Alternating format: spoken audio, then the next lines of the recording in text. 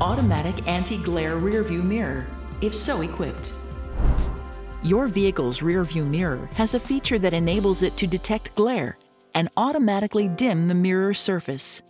The indicator light will illuminate when the anti-glare feature is operating. To turn off, press this button.